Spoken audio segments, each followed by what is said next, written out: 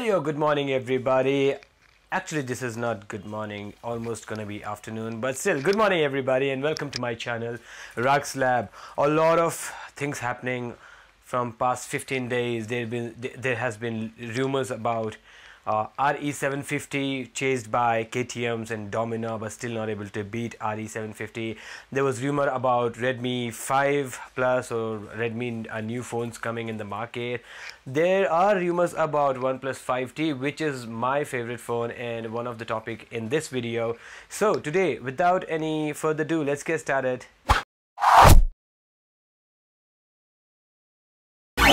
Alright. So recently we saw a post by uh, Carl. Uh, Carl. Recently we saw Carl Pei posting on his Twitter a photo clicked by a phone and the phone was not named. He asked his consumer if anybody can find out which phone is this.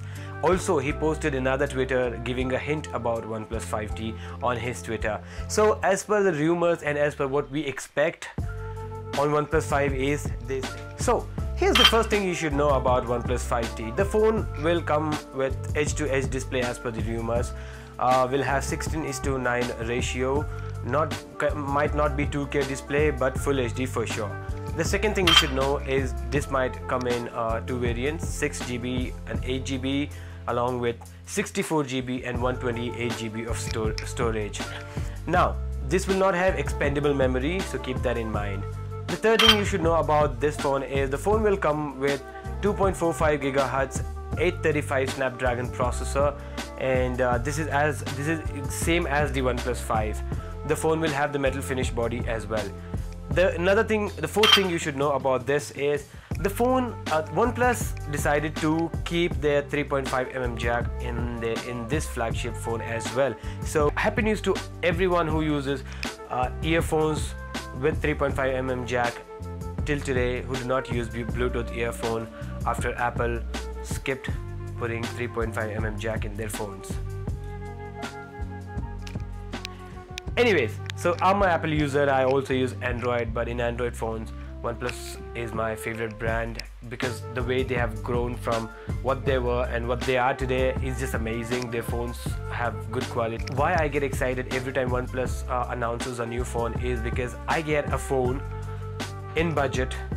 Budget do not mean like less amount this is a premium segment phone in premium segment phone this is like a budget phone where you get the best hardwares in the industry and best camera and everything which you can compare it with the bigger phone bigger companies like apple or samsung s8 could not be as good like it might not be as good as them or as bad as them i can say both. Because if, if we all know what happened to note 7 anyway yeah. Another thing you should know about this phone this phone is the phone will have 20 megapixel camera in, uh, in the rear and 16 megapixel selfie shooter camera. So let's hope, uh, let's let's wait for the launch. Uh, it should be the phone should be launching in and coming couple of months or first quarter of next year. So let's hope that the phone comes and and we it stand to our expectation because as what OnePlus has been doing all this while is the same. They the phones go beyond our expectation. One plus one, two, and three, and eight, and 3T, and then five. We all love these phones. If you if you like this video, drop a like below and subscribe to my channel. Subscribe to my channel that encourages me to make more videos as such as this one. Stay connected with me by subscribing, and I make motor vlogs and I make tech videos too.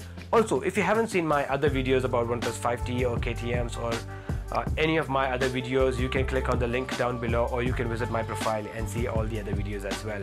It is me Anurag signing off from my channel. Take care. Peace